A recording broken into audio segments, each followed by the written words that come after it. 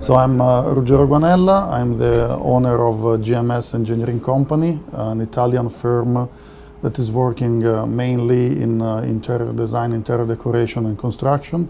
I've been here since 2013. Uh, in Italy we are European but we have something that is very close to the Kurdish uh, tradition and culture, uh, especially in the small uh, town. I'm from a small town in Italy.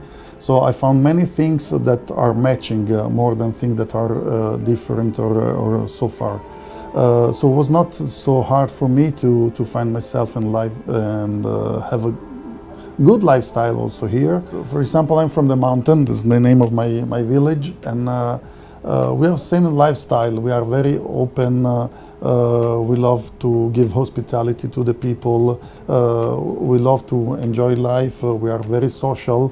Uh, and this uh, also for food tradition. Uh, we have some dance that, especially in Sardinia or in the south of Italy, are very close to the Kurdish dance and the tradition as well. The importance of women as they rule the family without being in the in the picture every time. So we have many many things that are very close as a cultural uh, tradition. Uh, I want to thank you all my Kurdish friends, and uh, grazie a tutti.